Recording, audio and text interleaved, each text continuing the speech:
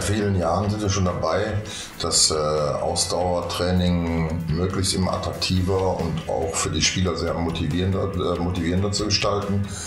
Ähm, wir haben angefangen mit Ausdauertraining mit verschiedenen Laufvarianten, äh, haben Indoor-Outdoor entwickelt, einen Trainingsparcours initiiert, um im Athletiktraining immer wieder neue Akzente zu setzen. Uns hat besonders begeistert äh, aus der CrossFit-Bewegung die Möglichkeit, verschiedene Locations aufzusuchen und auch da dem Sportspiel Handball eine neue Tendenz zu geben. Aus dieser Bewegung ist das Handball Cross entstanden, was wir auf dieser DVD vorstellen möchten.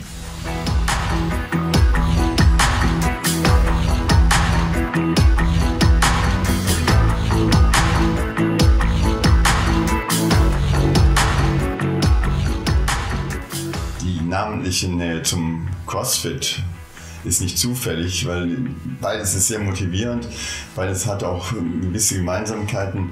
Die großen Unterschiede liegen beim Handballcross darin, dass sie näher an Handballspezifien liegen. Das heißt, die, die zeitliche Struktur sieht so aus, dass wir circa zweimal 30 Minuten Belastung haben, dazwischen eine Pause von circa 15 Minuten, die entweder passiv oder aktiv genutzt werden kann. In dem Fall wäre jetzt aktiv zum Beispiel Dehnen.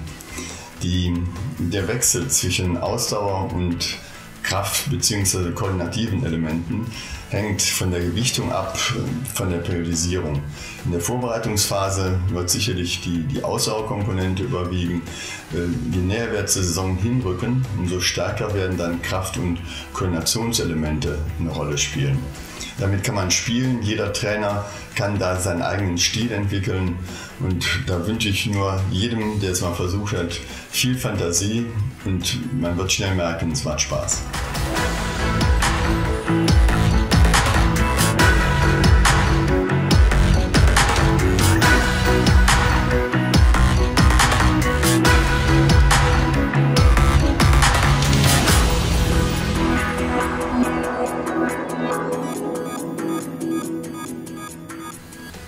Es gibt viele, viele Variationsmöglichkeiten in der Organisation äh, eines Handballcrosses. Ähm, mit wenig Personal, mit viel Personal. Diese verschiedenen Arten möchten wir auf der DVD vorstellen, genauso wie Handballcross Indoor als auch Outdoor durchführen zu können. Die dazugehörigen Materialien reichen von hallenspezifischen Dingen wie, wie Hanteln bis hin zu Geräten bzw. Gerätschaften, die man draußen findet. Man kann mit Baumstämmen arbeiten, wenn man nicht gerade vorher einen Baum dafür fällen muss. Man kann im Prinzip alles nutzen, was die Natur bietet.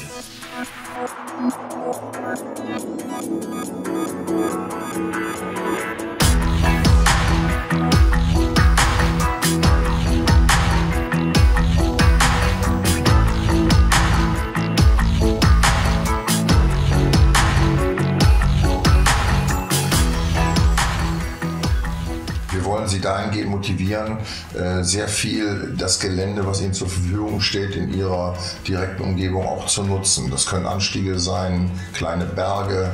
Äh, Wir haben selbst gute Erfahrungen gemacht mit äh, Beach- und Sandstränden an einem Flusslauf, Seen, die man einbauen kann in, in den Cross, Handballcross. Äh, nutzen Sie alles das aus, was die Natur um Sie herum hergibt.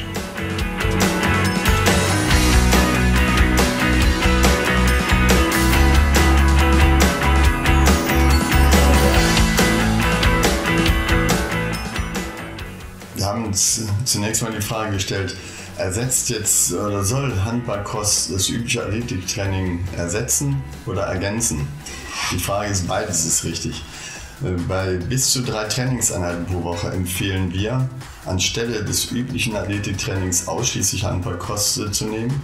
Wenn man mehr als drei Trainingseinheiten zur Verfügung hat, kann man auch spezifisch in die konditionellen Elemente reintrainieren.